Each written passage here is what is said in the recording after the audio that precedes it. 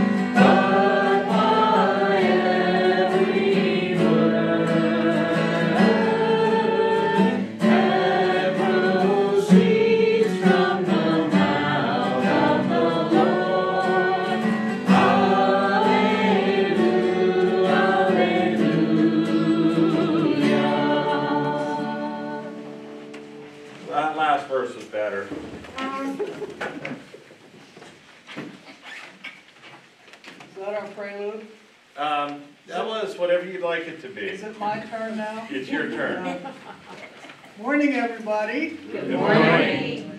Over there. Welcome this morning to our worship of God in Jesus Christ. It is the 11th Sunday of the season of Pentecost. What announcements do we have? Thursday is council. I was just going to say, if you have anything to say to council, tell Royce, but look, he's disappeared. Smart guy. So, yeah, That's why he's the president. leave him notes. We have other announcements. Nathan and Steph are here. Oh, there he is. Now, feel free to harass, I mean, to tell Royce if there's anything you'd like council to know or think about. You're the council president. I just told, I didn't ask that. I told people we're having a meeting on Thursday if they needed something to come to council to tell you about it. And then you weren't there, so, That's correct. yeah. All right? You feel picked on? And if not, we can fix that. I have one announcement. I just found out on Friday. Mr. Dewar had a stroke two weeks ago. He was in the hospital for a week, and now he's up at Passavant in rehab, so that's a good sign. But uh, Bob said he's having trouble with his speech. So I'm, I'm gonna try to go see him today. They'll let me in. Other announcements? All right then.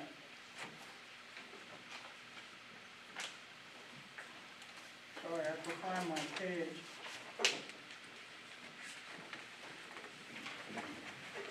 There it is. And please rise for the order of confession.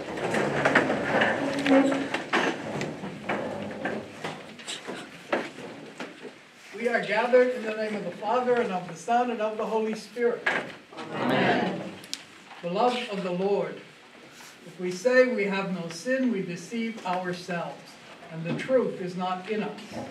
But when we confess our sin, God, who is faithful and just, will forgive our sin and cleanse us from all unrighteousness.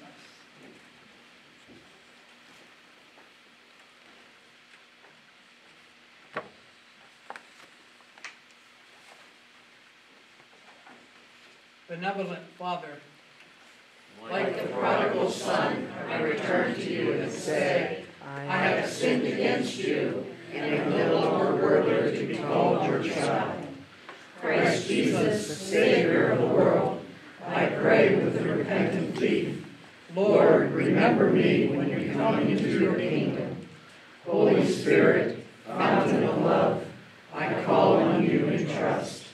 Purify my heart and empower me to walk as a child of light. God the Father has reconciled the world to himself through the death and resurrection of his Son. And for the sake of Jesus' suffering, grants you pardon and absolves you of all your sins, heals and strengthens you, and raises you to new life. Receive his grace in the name of the Father, and of the Son, and of the Holy Spirit. Amen. Another song. Yes. Our next song will be Lord, I Lift your name on high, which is number You can sit if you want. We're seventeen, that's right, that's right. And Heather's gonna stand up here and, you said you were gonna stand up here I and lead didn't say I was gonna stand up there, I said I was gonna help ya. Okay, well, what the hell you're being, now, all right. David, David.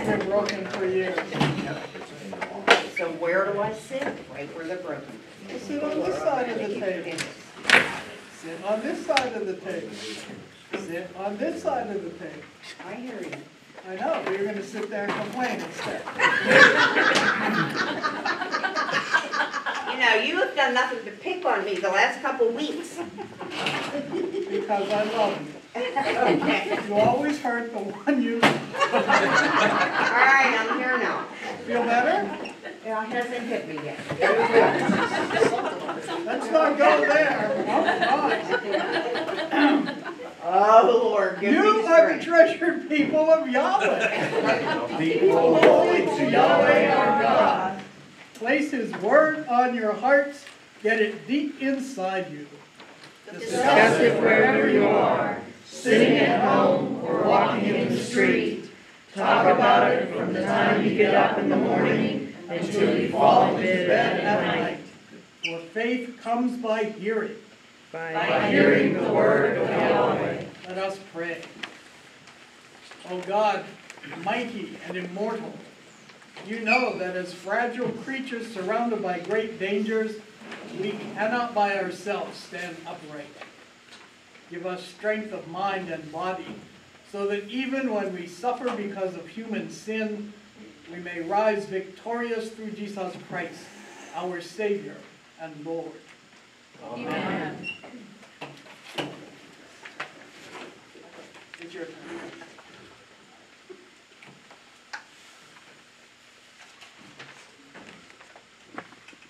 The Old Testament lesson is from Isaiah chapter 58. If you remove the yoke from among you, the pointing finger, the speaking of evil, if you offer your food to the hungry and satisfy the needs of the afflicted, then your light shall rise in the darkness and your gloom be like the noonday. The Lord will guide you continually and satisfy your needs in parched places and make your bones strong, and you shall be like a watered garden, like a spring of water whose waters never fail. Your ancient ruins shall be rebuilt. You shall raise up the foundations of many generations. You shall be called the repairer of the breach, the restorer of streets to live in. If you refrain from trampling the Sabbath, from pursuing your own interests on my holy day, if you call the Sabbath a delight and the holy day of the Lord honorable, if you honor it, not by going your own way, serving your own interests, or pursuing your own affairs, then you shall take delight in the Lord, and I will make you ride upon the heights of the earth. I will feed you with the heritage of your ancestor Jacob, for the mouth of the Lord has spoken. The word of the Lord. Thanks be to God. We'll read Psalm one hundred and three responsively. Bless, O Lord, O my soul, within me, bless God's holy name. Bless the Lord, O my soul, and forget not all God's benefits. Who forgives all your sins and heals all your diseases. Who redeems your life from the grave and crowns you with steadfast love and mercy. Who satisfies your desires with good things, so that your youth is renewed like an eagle's. O Lord, you provide vindication and justice for all who are oppressed. You made known your ways to Moses and your works to the children of Israel. Lord, you are full of compassion and mercy, slow to anger, and abounding in steadfast love. The epistle lesson is from Hebrews chapter twelve. You have not come to something that can be touched, a blazing fire and darkness and gloom and a tempest and the sound of a trumpet and a voice whose words made the hearers beg that not another word be spoken to them. For they could not endure the order that was given. If even an animal touches the mountain, it shall be stoned to death. Indeed, so terrifying was the sight that Moses said, I tremble with fear. But you have come to Mount Zion, and to the city of the living God, the heavenly Jerusalem, and to the innumerable angels in festal gathering, and to the assembly of the firstborn who are enrolled in heaven, and to God, the judge of all, and to the spirits of the righteous made perfect, and to Jesus, the mediator of a new covenant, and to the sprinkled blood that speaks a better word than the blood of Abel. See that you do not refuse the one who is speaking. For they did not escape when they refused the one who warned them on earth, how much less will we escape if we reject the one who warns from heaven? At that time his voice shook the earth, but now he has promised, Yet once more I will shake not only the earth, but also the heaven. This phrase, yet once more, indicates the removal of what is shaken, that is, created things, so that what cannot be shaken remain, may remain. Therefore, since we are receiving a kingdom that cannot be shaken, let us give thanks, by which we offer to God an acceptable worship with reverence and awe, for indeed our God is a consuming fire. Word of the Lord. Thanks be to God.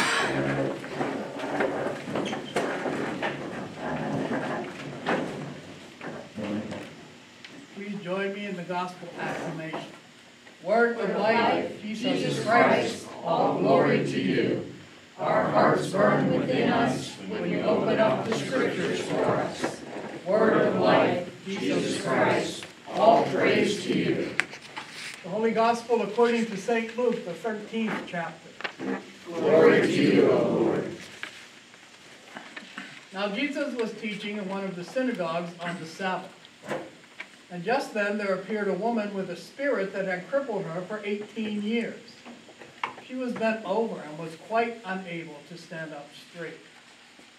When Jesus saw her, he called her over and said, Woman, you are set free from your ailment. When he laid his hands on her, immediately she stood up straight and began praising God. But the leader of the synagogue, indignant because Jesus had cured on the Sabbath, kept saying to the crowd, There are six days on which work ought to be done. Come on those days and be cured, and not on the Sabbath day. But the Lord answered him and said, You hypocrites!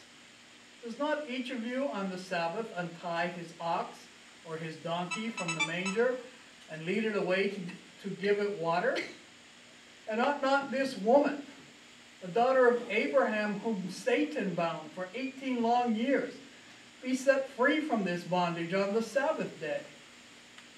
When he said this, all his opponents were put to shame. And the entire crowd was rejoicing at all the wonderful things that he was doing. The Gospel of our Lord. Praise to you, O Christ. I'm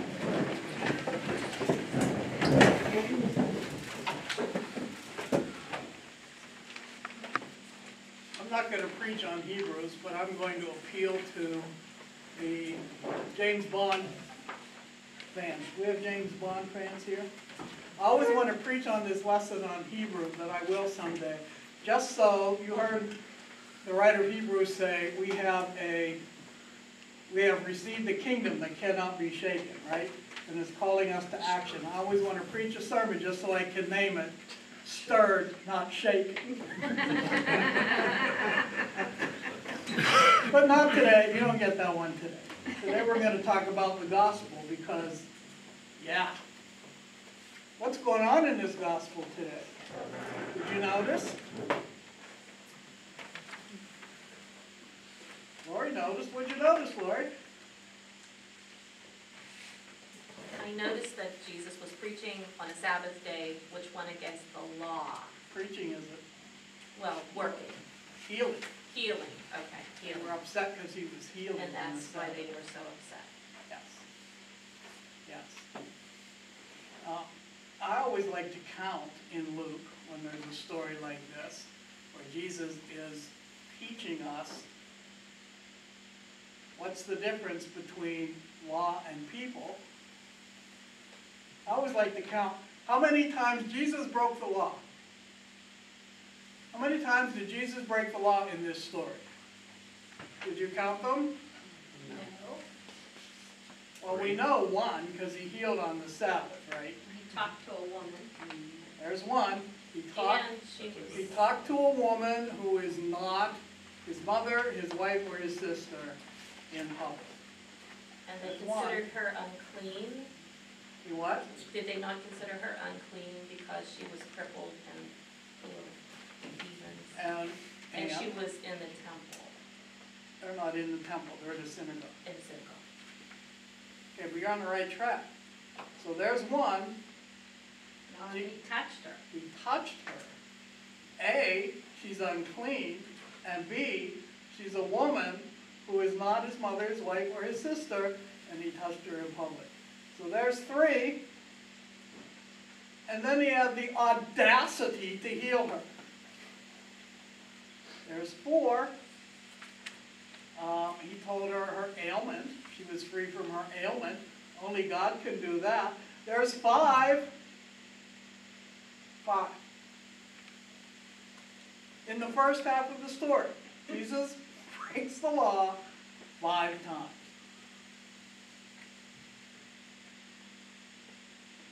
And then the leader of the synagogue, and I love that Luke says, he kept saying.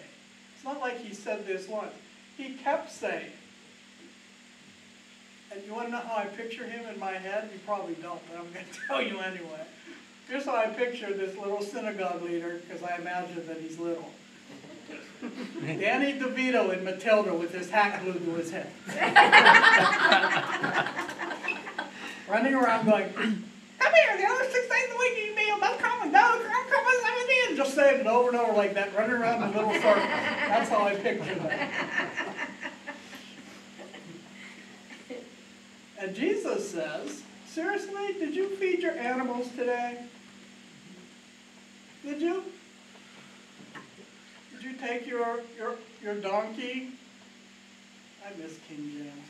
Did you take your ox and your ass out and give them water? Did you? Take your ass out? Yeah, we did. Was that working on Sabbath? But, but, but you're allowed to do that. Yeah, you are. You are. You're allowed to do that. You're also allowed to uh, save a life on the Sabbath. Oddly, if you're an Orthodox Jew, and I know trivial pursuit here, but this just always strikes me as odd. You're allowed absolutely to save the life of a fellow Jew on the Sabbath. A Gentile, you get the pick if you want to or not.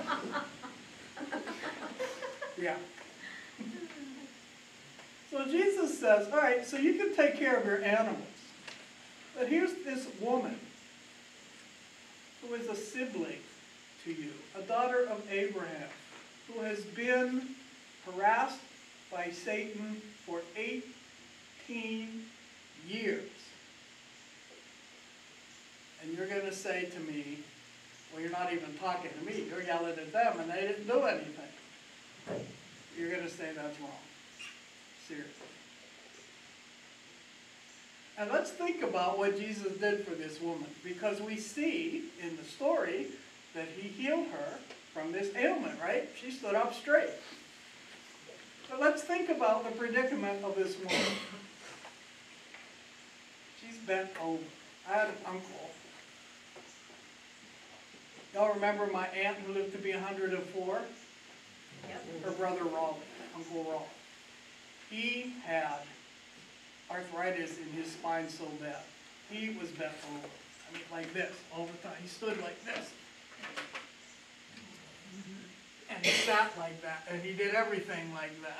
He had to sleep on his side, obviously, because he couldn't move his spine at all. That's this woman. 18 years of. I think Uncle Rawl was like 30 years of that, but you know, it's not a competition. 18 years of that. But I know what's that like for a person. What does this woman see? She sees the ground. She can't see her friends. She can't see her family. She can't see the stars at night. She can't, I mean, she, here's how, because this is what Uncle Rawl would do. If you wanted to talk to him, you had to be where Barb was, so he could do that. And not too long, because it hurt his neck. This is how she's been living for 18 years. Here's what she cannot do besides that. She can't help her family.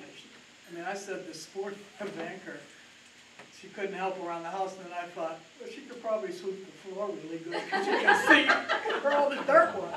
But beyond that.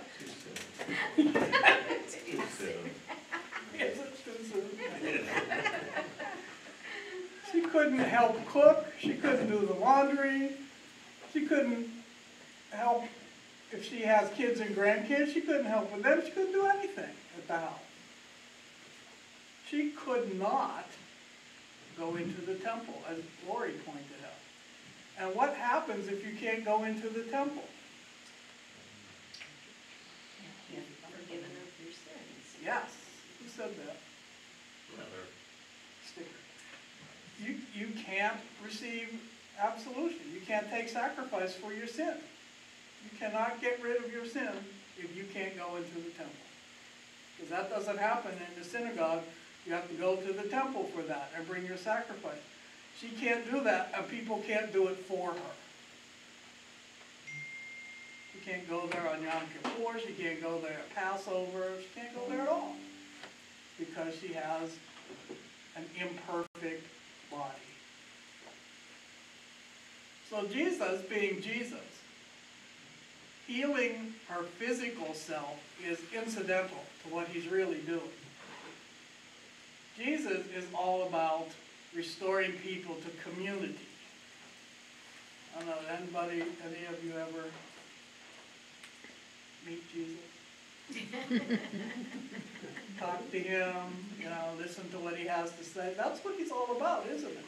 His whole reason, the whole reason God became man in the person of Jesus Christ was by his life, death, resurrection, ascension, and sending of the Holy Spirit to restore us to our proper community, which is the kingdom of God.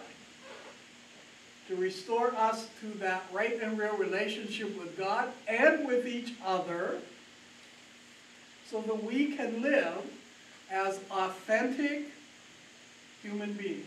Live the life we were created to live. And when Jesus is doing these things in Scripture, that's what he's doing for these individual people because he's revealing his Father's heart. He's saying, this is what I'm here for. I'm doing it for this lady right now. I came to do it for everybody. I mean, think about it. She stood up. Jesus touched her. I'm sure everybody went, when he did that. But Jesus touched her and she just sprang up like those, like those things in front of the used car dealership. I thought you were gonna say a snake from a peanut brittle can. I was thinking a Jack in the Box. Think about the, the, whatever that is, the inflatable man, whatever he's called. Isn't that what he does? She sprang up and praised God, exactly. Ah, she sprang up and praised God. That's exactly what happened. And then what could she do? Everything. She could go home and hug her family. She could go home, unless they were already there with her, but she could hug. Can you imagine if I couldn't hug anybody for 18 years? I mean, the pandemic almost killed me. 18 years she hasn't been able to hug people. She can hold babies. She can play with a dog. She can bake bread. She can work in the garden. She can go for a walk. She can go to the temple. She can bring her sacrifice and receive absolution and live free. Jesus has, yeah, he cured her body, but he has restored her to her community so that she can live the life she was created to live. And what people say about that? Don't come here on the Sabbath to be cured. Oh my God. Here's Jesus. Oh my me.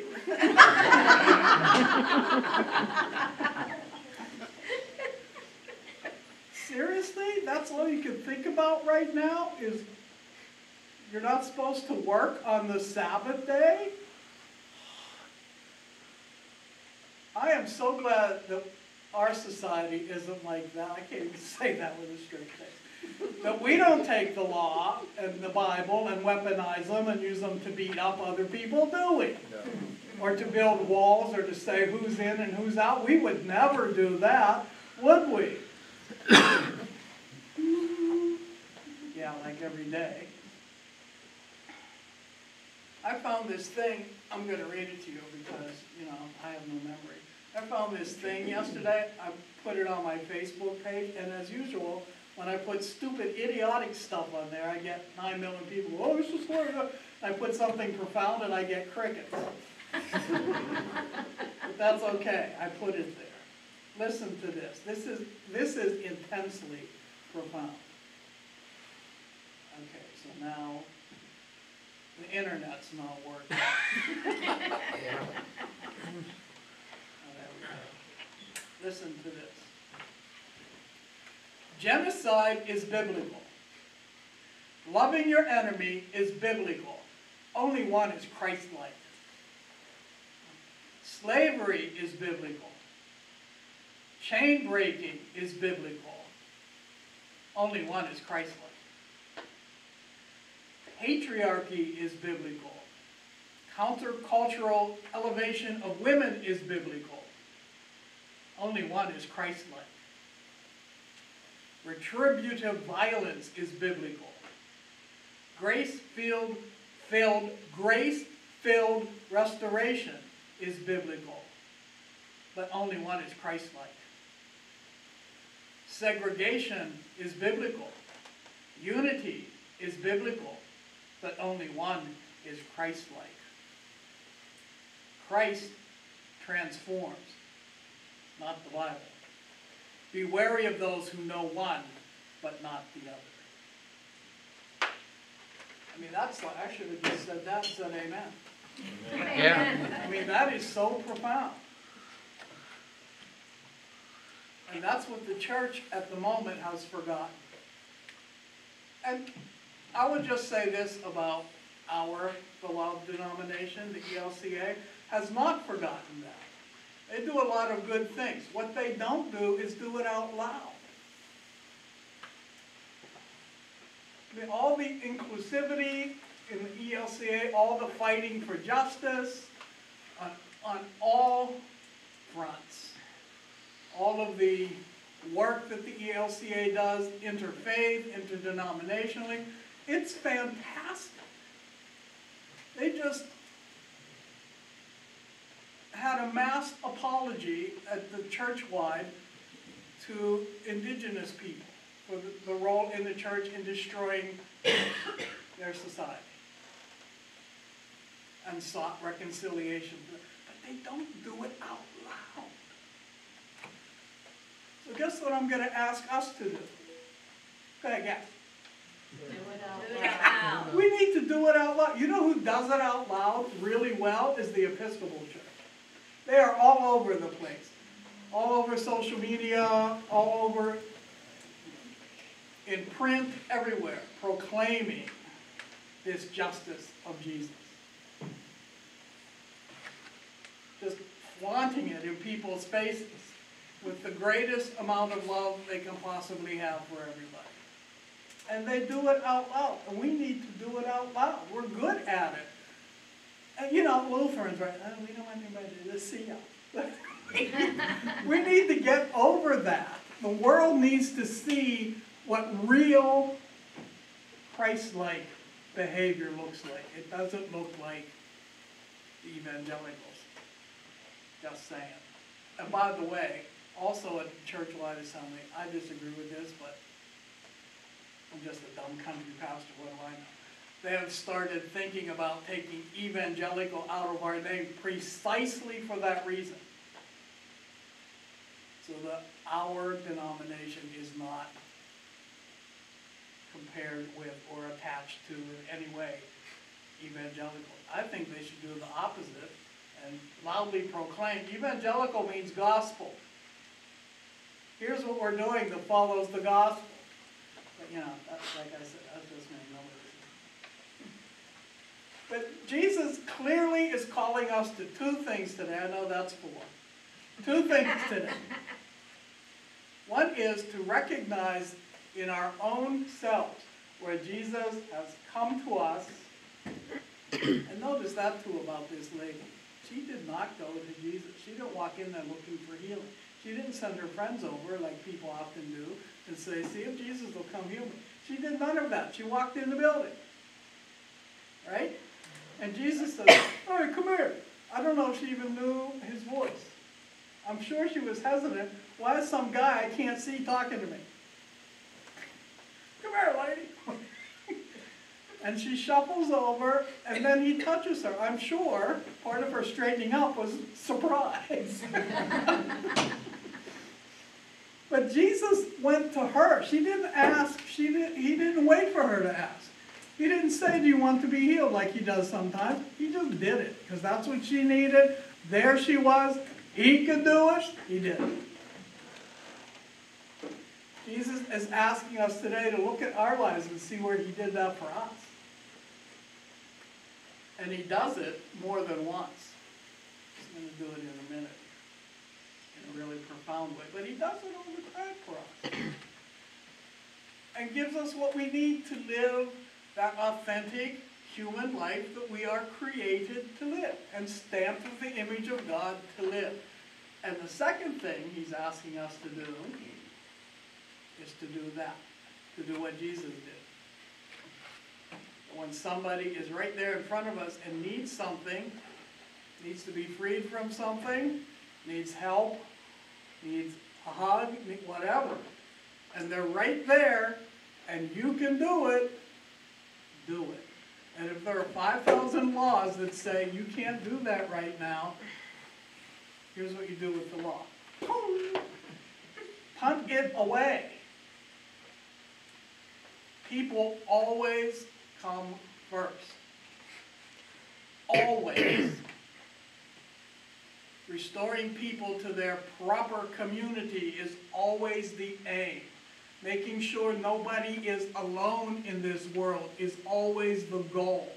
Bringing people into the kingdom of God is always what the church is about.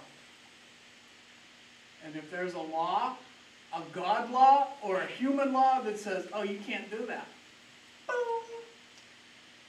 Sorry, I'm doing it anyway. Out loud. Because when you do it out loud, it encourages other people to do it. Plus, it helps other people who only see a side of Jesus, we, a wrong portrayal of Jesus, I should say, to see who Jesus actually is.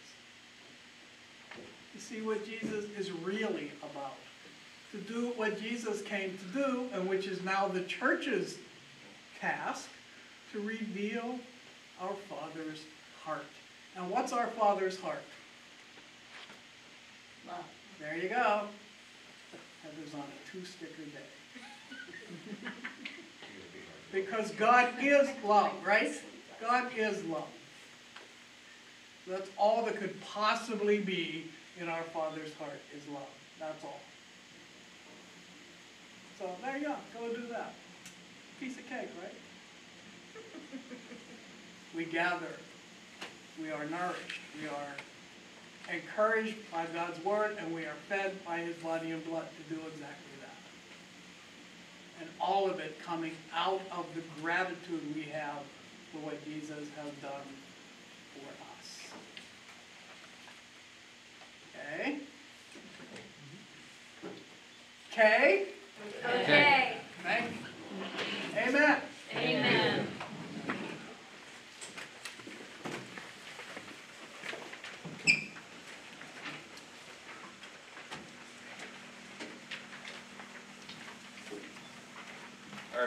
sermon hymn will be All in All, which is number, anyone? Thirty-eight. Thirty-eight. Sing nice and loud, because Heather's not gonna stand up here and lead the singing. Oh, what did I just I was say? gonna say, did you not hear the word love? Excuse me, teacher's pet. We had a rough morning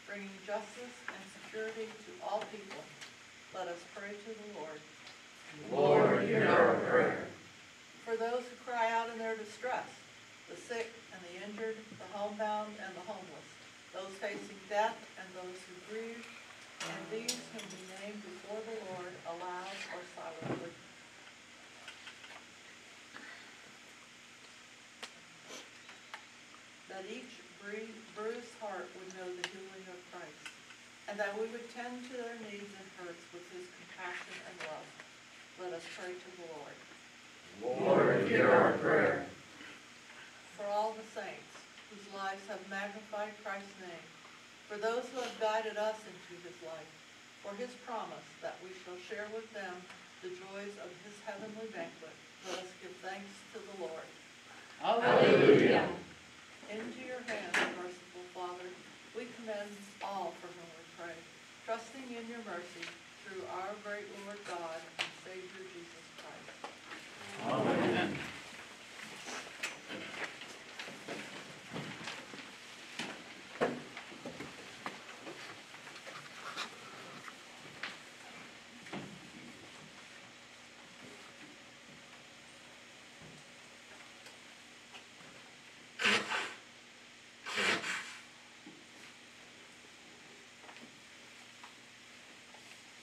Please rise and join Bart in the offertory.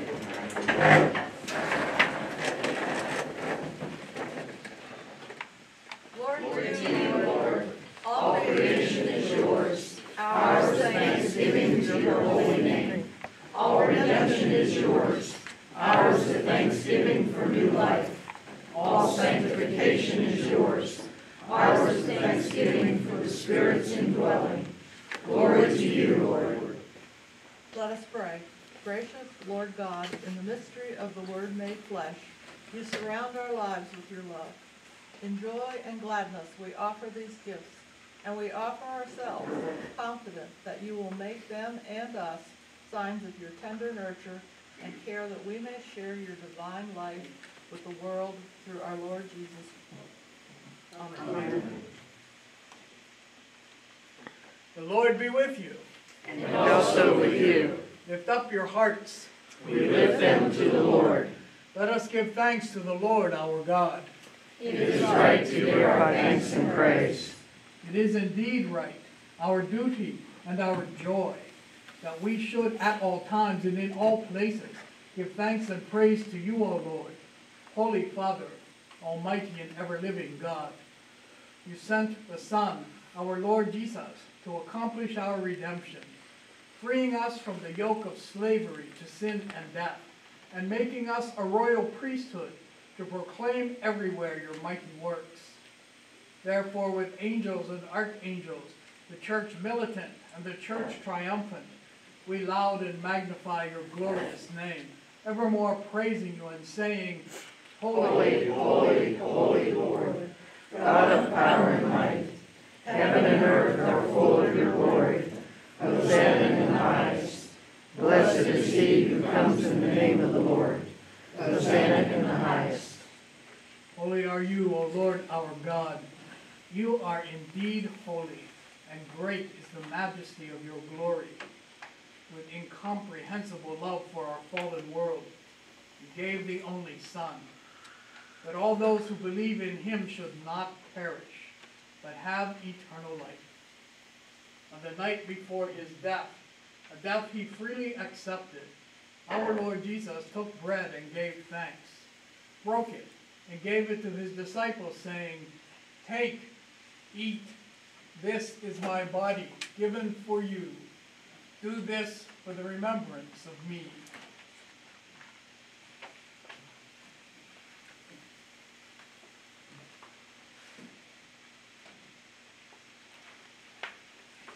Again, after supper, he took the cup. Again, gave thanks and gave it to all to drink, saying, This is the cup of the new covenant in my blood, which is shed for you and for all people for the forgiveness of sins. Do this for the remembrance of me.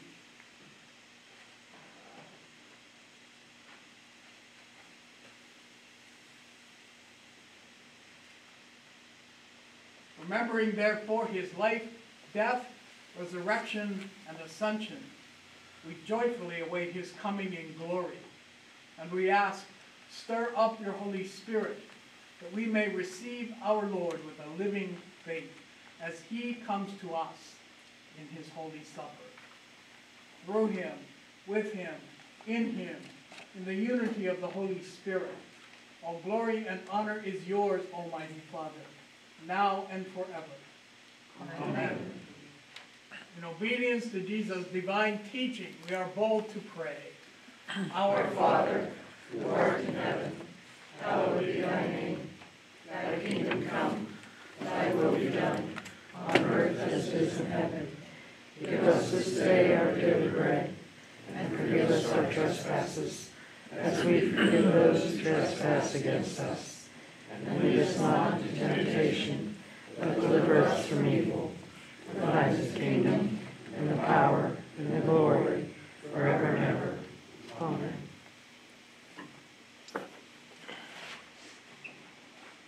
This is Jesus. This is the Lamb of God who takes away the sin of the world. Blessed are those he calls to his supper.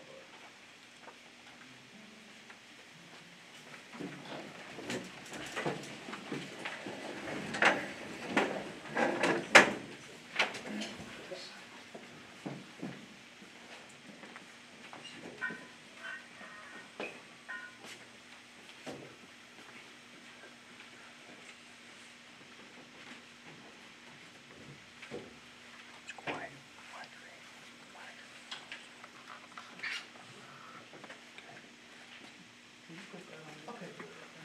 There's the reception.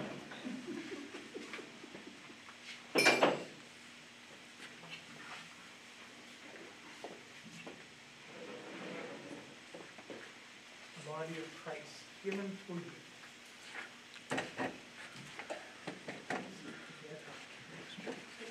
Body of Christ given for you.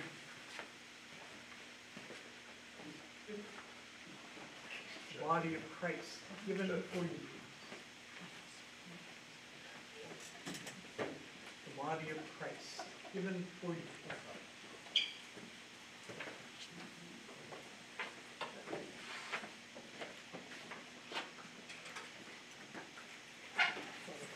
The Christ given for you.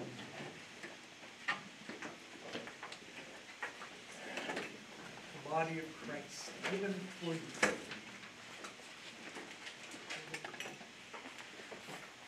Body of Christ given for you. The body of Christ given for you. The body of Christ given for you.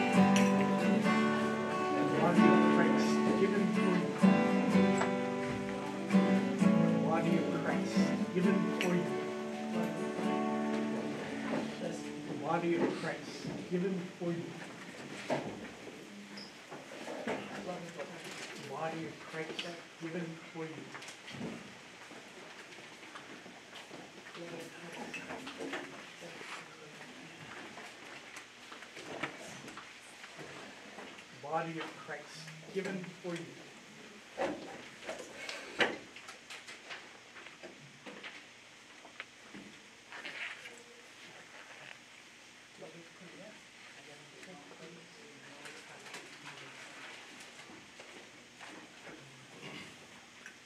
The body of Christ given for you.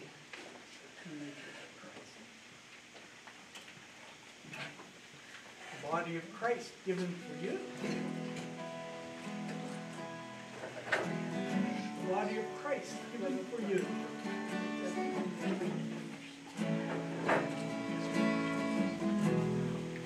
Body of Christ given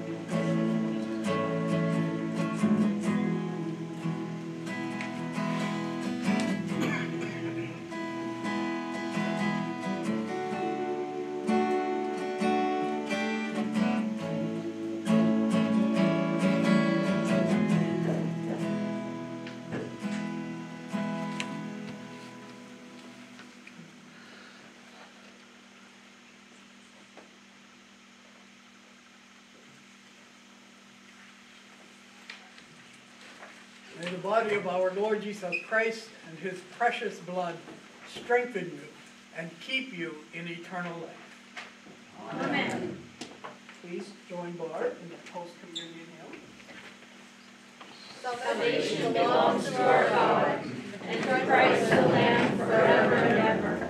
Great and wonderful are your deeds, Creator of the universe. Just and true are your ways, ruler of the nations. Who fill the honor of your Lord, and sing the glory of your name. You You alone alone are holy, and all creation worships your majesty. Salvation belongs to our God, and to Christ the Lamb forever and ever. Yep, that's you. Let us pray. Lord Jesus, in the Holy Eucharist, you give us yourself and equip us to bear fruit in your everyday lives. Give us the courage to be Christ bearers for the world's sake, willing to live for others, and eager to see and serve you in everyone we meet. We ask this by the Spirit's power and in your sacred name. Amen. May the God and Father of our Lord Jesus Christ fill you with every spiritual blessing. Amen. May our faithful Lord empower you to live in harmony with one another and in unity with Christ Jesus. Amen. May our God of hope fill you with joy and serenity in believing, that you may abound in trust by the power of the Holy Spirit. Amen. May Almighty God, Father, Son, and Holy Spirit bless you and direct your days and your deeds in his peace. Amen. Okay, well, for our final hymn, uh, we are going to sing I Believe, which I believe is number 12. Correct. Yes. And before we do that, though, I just wanted to thank Caitlin for playing today. I think this is the first time she's played her guitar in four years. So, Thank you, Caitlin. And, and she hates to be made the center of attention. Whatever you do, do not recognize her. There's a lot of great Good, and let's say this to them in light of that. I think this is the first time that I know of that we've had a doctor playing the guitar for us in worship.